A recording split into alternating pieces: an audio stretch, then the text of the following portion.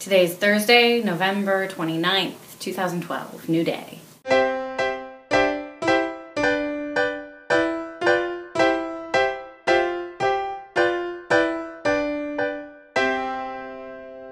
Good morning. We're up to Psalm 43, and I'm going to start with a prayer. Dear Creator, please help me be present with your word to set aside distracting thoughts or feelings simply be present here with you and your word. Amen. Psalm 43 O God, take up my cause. Defend me against these ungodly people. Rescue me from these unjust liars. For you are God, my only safe haven. Why have you tossed me aside? Why must I wander around in darkness, oppressed by my enemies? Send out your light and your truth. Let them guide me. Let them lead me to your holy mountain, to the place where you live. There I will go to the altar of God, to God, the source of all my joy. I will praise you with my harp, O God, my God. Why am I so discouraged? Why so sad? I will put my hope in God. I will praise him again, my Savior and my God. What a beautiful little psalm. I really like this. I'm I'm seeing in it my story. You know, the being in a place where I'm feeling hopeless, I'm feeling lost, I'm feeling confused, and that first part, the oh God, take up my cause, defend me against these ungodly people. It feels like where I am when I'm feeling tempted to believe that the Lord's not around and the world is hopeless and something sad or bad has happened or difficult. One of the kids is thrown a tantrum, even as simple as that, and I just don't know how to fix the problem. And I see that they're distressed, but I can't seem to meet their needs or fix the problem for them. And the lies that start coming in are I'm a terrible mother, or you've totally messed up your children forever, or there is no solution to this problem. And this vacillates so quickly, and I, I relate to this Rescue me from these unjust liars, for you are God, my only safe haven. So there's some hope. Why have you tossed me aside? Why must I wander around in darkness, oppressed by my enemies? Right back to that. This is not fair and it's an unsolvable problem, and why do I have to be going through this? And then to send out your light and your truth, let them guide me. And that's the key. That, for me, is the key. When I'm buying into or struggling with buying into all the lies that come up. That's what I have to start with is the truth. The Lord is here, the Lord is present, the Lord is with me. Every problem is solvable. No one is irredeemably lost. My children might be throwing a tantrum in this moment, but that child is eight years old. He's got his whole life ahead of him. There is no way that I have irrevocably messed him up because I haven't been intentionally trying to do so.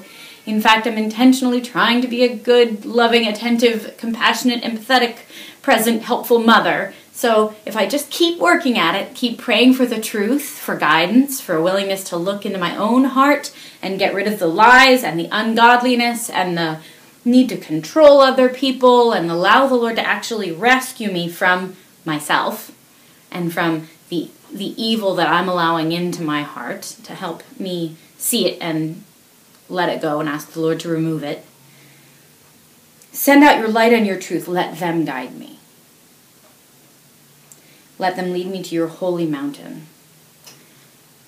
I'm going to I'm to see that as your mountain, your holy mountain. If I climb up the mountain, then I'm above it all. I can see really far. I can see everything down there that is what we need to move away from, what I need to move away from and overcome up to the holy mountain, the place where you live. I'm, I'm coming to the Lord and coming to know the Lord and being where the Lord is. The Lord is always with me. But if I go to where the Lord is, then I really get to have the Lord in my life and in my heart. There I will go to the altar of God, to God, the source of all my joy. I will praise you with my harp, O God, my God.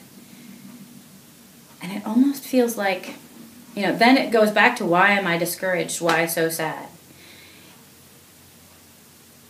It's as if it's showing me that I can get to a really great place of feeling so good and completely enlightened and like I can stand above, oh, there's my negative thoughts and there's some frustrated feelings and okay, there's some action I don't, I, I did, but you know, now I can rise above all that and look down and see, okay, I can see where I need to go from here.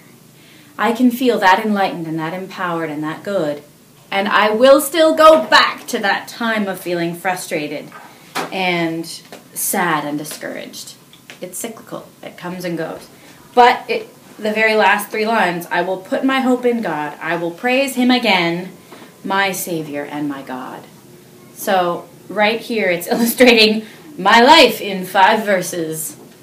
I start with I think we're all born being very close to the angels and to the Lord. As we mature, we come into our own stuff, which means we've got the hell's coming in and bugging us as well. We get discouraged, we get sad. If we can just hang on and call on the Lord, He will always come. He will always give us His truth to guide us out of the bad places, out of the difficult, dark places. And I want to remember that the Lord is here and here and in the people around me. I can ask for help, and people will help me. I've experienced it so many times. And when I prayerfully go, Lord, help me, and then I think, okay, who can I call for help right now? The help that I receive is so clearly inspired by the Lord. The friend that goes, absolutely, I can come babysit at the last minute Yes, I can come be with you and help you get your laundry done. Oh, I hear you. Go ahead, just cry over the phone. Now do you feel better? Like all of those things that are always there when I when I choose to reach out. The temptation, the the biggest temptation I think I face is refusing to ask the Lord for help, refusing to say, "Please send me your light and truth," and then taking action to access it. I my tendency is to go, no, no, no, I don't want anybody to see that I'm struggling and feeling frustrated right now. I'm just I'm going to hide. I'm not going to ask for help. I'm not even going to talk to the Lord or pray. Or if I do, I'm praying. I'm talking to the Lord. Sort of like, all right, Lord, come fix it. Come on. Hello? But I'm not actually doing anything. so, this psalm has a great little progression illustration of my life in the positive, you know, in the in the this is how to do it kind of way. So today I'm going to remember to pray for the Lord's light and truth and to then open myself up to receiving that from the Lord and to turn to my neighbors, my friends, my family, to people that if I'm going, okay, I'm really struggling with this. Okay, who's the right who's a good person to help me with that that problem? Where's the solution for me? And then invite the Lord in. Thanks for joining me. I like that little psalm, Psalm 43. It's a nice one. Mama. So uh, leave a comment. Tell me what you got out of this psalm. Does that resonate with you? Thank you for joining me, and I'll see you next time. Have a blessed day.